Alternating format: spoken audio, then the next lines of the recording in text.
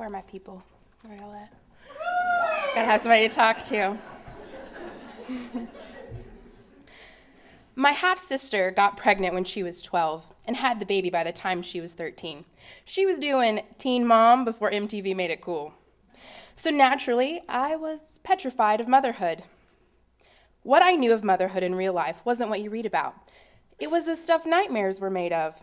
Now, apparently, it's just the stuff MTV contracts are made of. So, when I landed in the hospital at 12 years of age, scheduled to have a major surgery on my right ovary, and the doctors all agreeing I would never have children, I was pretty okay with it. After all, I was still totally into Powerpuff Girls and sparkly lip gloss. I wore pigtails and jelly shoes, and I listened to Whitney Houston and Karen Carpenter. I was still weird, taken by the idea of adventure and the wonder of love. I wasn't thinking about babies. I was still figuring out how to shave. Thanks to my mother, who decided I would remain looking like the body double as Chewbacca until I was um, old enough to have my period. I didn't get my period, you guessed it, until I was 13. The same month, I found myself having a large cyst on my ovary that was making me deathly sick. That same cyst landed me in the hospital, bleeding for a month and awaiting emergency surgery. That same cyst brought doctors into my life at 12 years of age who, who used words like infertile and too much damaged tissue for a viable fetus. Imagine my surprise when I find, find out only five months later, after marriage, that I had a positive pregnancy test in hand. When I tell my story, my medical history, and the fact that I am not only a mother of one, but three little people who escaped my uterus, people always gush, Jasmine, you have miracles.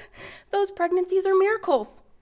I'm here to confess a deep guilt that these sort of comments create in me. My babies are miracles, so I should never be upset or a mess about their existence, right? I should always be squishy and thankful and because well, they're miracles. Well, in 12 step tradition, I am going to make some confessions. I'm going to free us all of the guilt and shame that has kept us sick in motherhood. I've prepared a list. If you're not at a place to join me in your confession, just say pass.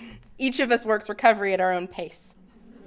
Number one, miracles do sometimes require you to cheat at Candyland.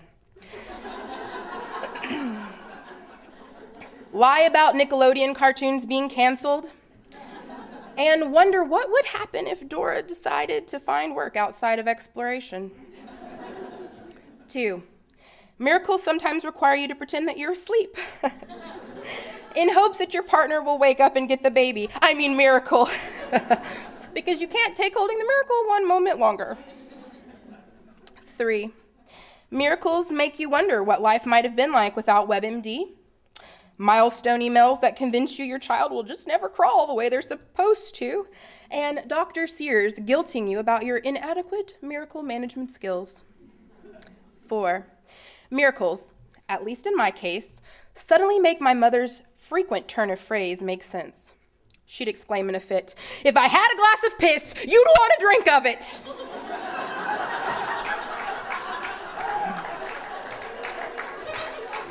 True story. True story. However gross that may be, now that I have my own miracles, I share the sentiment. Speaking of pee, miracles mean you'll never pee alone again. Ever. Number six.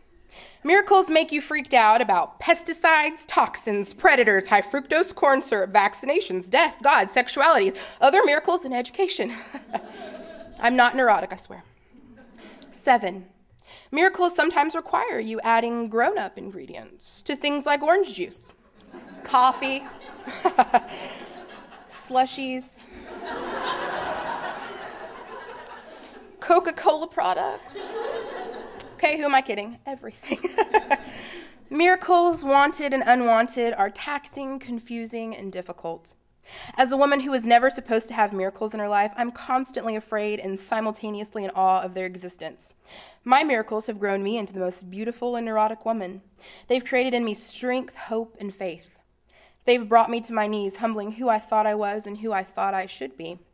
My first miracle asked me what Easter was about the other day while we were grocery shopping. I fumbled. I was taken off guard and I felt pressure to give the best answer. I could have said, There was this dude, he died, and then he came back to life again. But I thought the whole zombie Jesus approach might be an inappropriate story for a four year old. So I decided to keep it general. I said something about getting second chances, how second chances are miraculous, and how God loves all of us. I told him that Easter happened in a way that people never expected. I told him it was hard to explain because people don't really know how Easter happened, but that it was a miracle. Isaiah said, who was my first miracle, he knows about my struggles with fertility and how he just happened. He understands that his story, how he came to be in our family, is a complicated one. I stood in the middle of the grocery store looking at Isaiah, hoping and praying my Easter miracle explanation had satisfied his curiosity. With a huge smile and a laugh, he said, Oh, so I'm your Easter. he got it.